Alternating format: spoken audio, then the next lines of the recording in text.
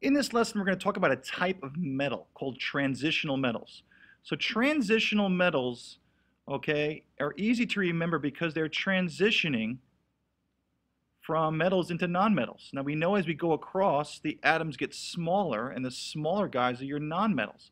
So transitional metals are the elements that are between the most reactive. Now the most reactive are the um, elements, okay, or the metals here on the left-hand side that are the most reactive because they have the greatest ability to lose electrons. So these metals here, here's the alkali metals, all with one valence electron, and the alkaline earth metals.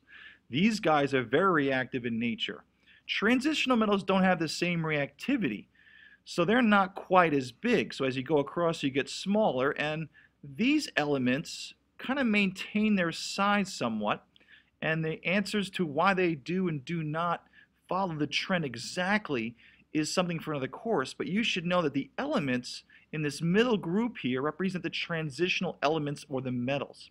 Now, people will talk about uh, in group 12 and group 3 that these aren't transitional, but generally speaking, this, this group here. Now, to be a transitional metal, you're supposed to have an unfilled this block of electrons called D block. And of course, scandium, or this group right here, loses all three. So generally speaking, for the course that we're talking about Regents chemistry, this middle block has you a transitional metals. what makes them special or different from these alkali, alkaline earth is they're not as reactive.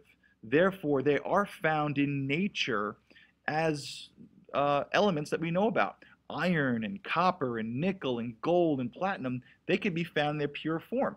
Okay, not always, and there's always some ores to clean up and, and purify, but you don't find these guys ever in their pure form because they're just too reactive.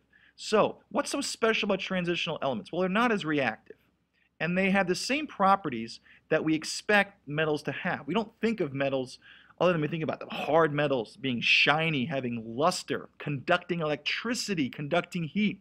They all do that. But what makes them stand out among others? Well, if we go to the periodic table, okay, an actual periodic table at some point, and this is the one that we use in class, we will see that my transitional metals, okay, have multiple oxidation states. They have multiple charges they like to become. Again, for reasons beyond the scope of this course, we're not going to talk about the why here, and the why is basically their play with um, orbitals and electrons between the S and the D. Not part of this course, but again, for another discussion for another course. But what you need to know is they have multiple oxidation states. That's the first thing. Okay, yes, they still have luster and shine. Yes, they're very dense. Yes, they uh, conduct heat and electricity because they have mobile electrons. Okay, but the other special thing you have to be aware of is that these elements make something called complex ions. Again, what you need to understand about complex ions, they make colored solutions. Love to talk about why. Again, it's for another course. But these elements, when they are ions and they are dissolved in an aqueous solution, have color. And that's what you have to get from today. Transitional elements have multiple oxidation states. They have the same properties as metals that we've talked about already, but beyond the multiple oxidation states, they form colored solutions.